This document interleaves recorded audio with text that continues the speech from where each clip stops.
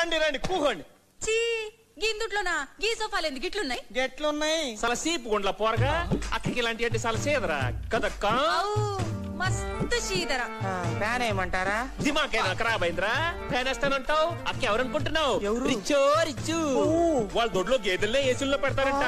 బేడకళ్ళు వెండి పెళ్ళాలతో ఎక్కుతారంట అలాంటిది అక్కకి రెక్కల ఫ్యాన్ వేస్తానంటావా? ఎద్దమన్నారా ఎద్దవా? ఏ ఏసీయో గీసీయో సీసీయో వేయాలి గాని. కదక్క కరస్టే. సారీ అనవసరంగా లైట్లు ఫ్యాన్లు వేయటం కూడా అయ్యగారికి నచ్చదు.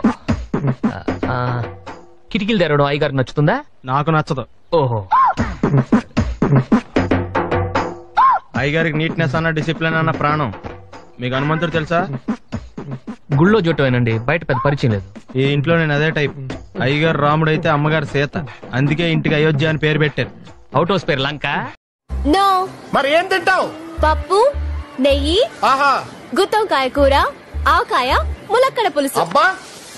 మరి అప్పడాలు వద్దా? అవి లేకపోతే ఇవేవి తినకూడదు. పోనీ నేను తిన్నా? నో. అవి ఎలాగో చచ్చిపోయాయి. మళ్ళీ సముద్రం వేస్తే సముద్రం పాడైపోద్ది.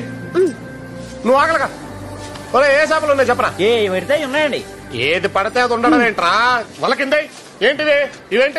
చిట్టి? నేను నీకు ఫోన్ చేసి ఏం చెప్పాను? నువ్వు నచ్చలేదు అని మా నాన్నకి చెప్పమన్నావు. కదా? అవును. మరి నువ్వేం చేసావు శంకర్ డాక్టర్ కాదు దాదా అని చెప్పు.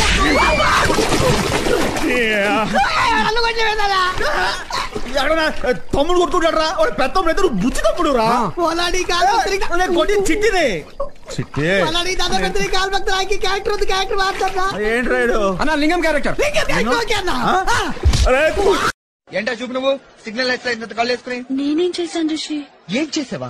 నువ్వు నన్ను చూడలేదు? అందరూ చూస్తున్నారు కదా. అందరు చూడడం వేరే నువ్వు చూడడం వేరే. ఏంటి వేరే? సీనియర్స్ ఎదురు వేయడం మానే. లైఫ్లో పైకి వస్తావు. నేను ఇలా